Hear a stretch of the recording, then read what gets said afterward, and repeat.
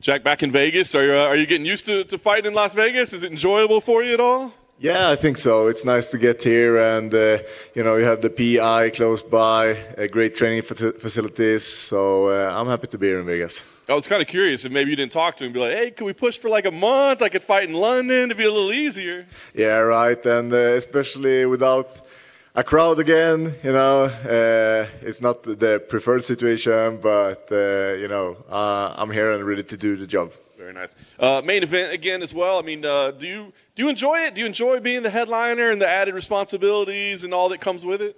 Absolutely, I'm super happy to be in this position. I think uh, you know uh, you're privileged as a fighter to be headlining a card, and it uh, it means that the UFC uh, are appreciating you and see you as one of their main fighters. Uh, uh, you don't strike me as a guy that loves to like talk trash or try to sell fights. I mean, does that part of it? Do you feel like, oh, but you know, they expect me to do something like that? No, you know, I think my skills speaks for themselves, and uh, it's nice with uh, diversity and different personalities. So not everybody has to be the bad guy. Very nice. I guess Sean Strickland doesn't mind being the bad guy, right? What do you What do you make of him as a character? I mean, are you are you entertained by him? Are you put off by him? Like, what do you think about him? No, I'm mostly entertained by it. You never know what you what you get with him, and uh, you know, our relationship are, are, are friendly, but at the same time, you know, he's a loose cannon. You never know what kind of uh, jump out of his mouth. yeah, exactly. Do you think he'll try to like you know the face off, and you know, do you think he'll try to get to you a little bit, play a little mind games? Um, I don't think so during the face off, but during the fights, definitely.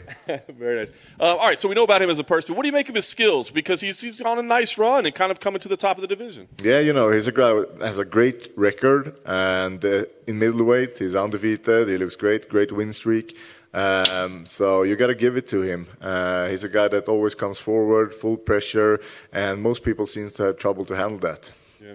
How about yourself? I mean, what do you feel about your career as of late? You had a couple setbacks, but again, I mean, we're talking about the best of the best. So, I mean, where do you feel that you're at in your career right now? Um, I feel I am at my peak right now, and I'm just getting better. And uh, uh, as you mentioned, it has been a few up and downs, but the, the margins are for error are so small in this sport, and uh, I just need to put everything together. And uh, when I do that, I know that I can become the best.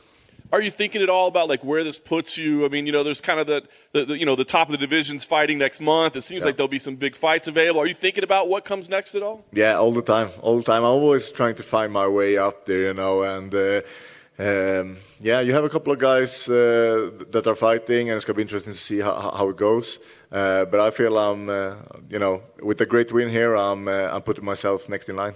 Yeah. Do, you think you can be uh, number one contender after this, basically, or even a, title shot? I mean, where do you feel? Yeah, if I do a, a good enough performance, you know, uh, and then it, depends on the other contenders, Brunson and Cannonier. How will they perform? Are they going to do an exciting fight or not? Uh, you know, we had a lot of rematches lately. Vettori against Adesanya, now Whittaker against Adesanya. Do we want to see Brunson against Adesanya? I'm not sure. You know, I think people want to see Jack Hermansson and Adesanya. Like it. Uh, you know, you talked about him talking during the fight and stuff. Is that a good thing for you or a bad thing? I mean, do you like? do you have to make sure you keep yourself calm, or do you kind of like being fired up a little bit so you can teach them a lesson? Uh, you know, I think it can be uh, annoying, but I ask my sparring partners to do the same, just to be prepared for it, and I'm visualizing it, so uh, I'm ready for whatever uh, is coming out of his mouth or whatever techniques he's throwing at me. Nice. Do the sparring partners enjoy talking shit to you, basically? yeah, I think so. nice. Last thing for me, you said it, man. You do something impressive here. You know, now your name gets in there. So do you go in the cage thinking like, let's do something impressive? Do you push more to do something spectacular?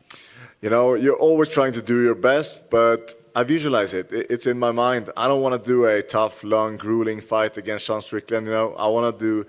I want to have a perfect performance. Um, so precision, perfection, early, nice, clean victory, dominance. That, that's what I'm looking for.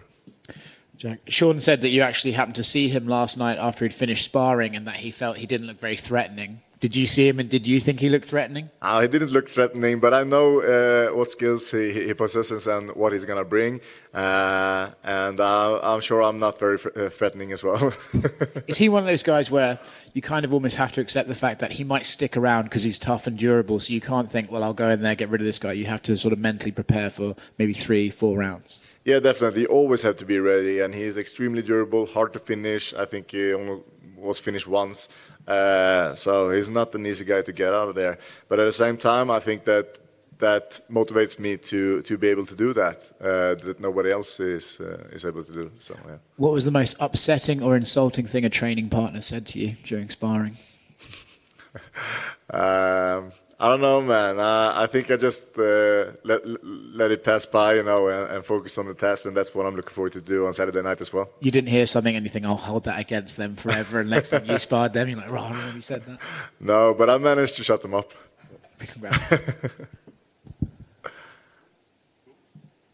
Appreciate it. Thank you so much, guys.